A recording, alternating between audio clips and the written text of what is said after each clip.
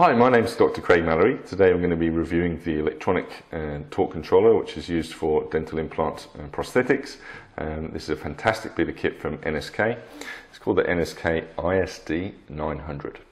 This is what you get. You get the motor unit, you get the, um, the charging station, the uh, torque calibrator.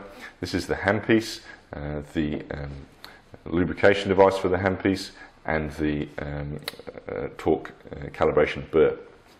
So when you first get in the kit, obviously you're going to want to charge it, um, place it simply into the charging unit, um, and then plug it into the wall, and then switch this switch on here, and then that will charge, um, and it's very easy. Uh, when you're ready to use the unit, uh, we take off the, the dust cap um, off the head of the, uh, which protects all the electronics uh, inside, and then um, connect the handpiece.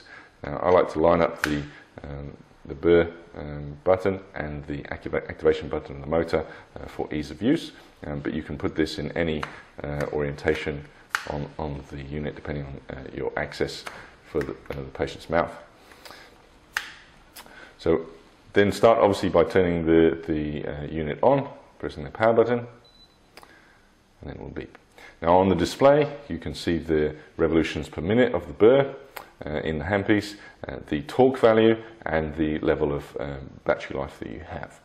Now the torque value, this can be scaled in single units uh, all the way from 10 newton centimeters all the way up to 40 newton centimeters. So this can be set, obviously as you know, all the different implant systems have their various torque values from 10 to 32 newton centimeters. Or, or um, so it really depends on the system, but this can very accurately determine what torque value you're applying to that um, screw.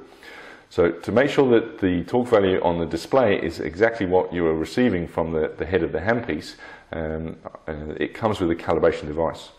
So this is the calibration burr, and this clicks into the uh, handpiece like so and then you take your, your torque uh, calibration unit uh, and have that ready.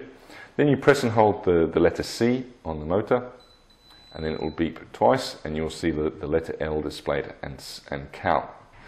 So to, to activate the, the initial phase, you press the, this button once and it will count down from three and then the handpiece will begin to rotate.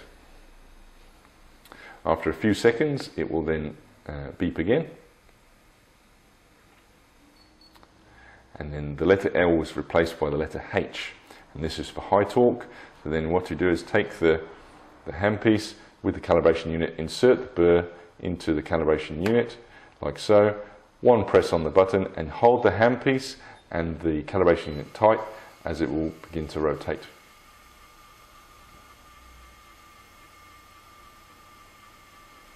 Once this phase is finished and it's calibrated, you'll hear a double beep and that means it, uh, it's been successful calibration um, and, and you're good to go. So then you can disconnect the, the calibration burr and then put in whatever prosthetic burr you have. So uh, long or short, um, they're all latch grip connections and all the implant companies do these, these such restorative burrs. Um, so you don't need an individualized torque uh, wrench for each implant company. You just need to get the different um, the burrs.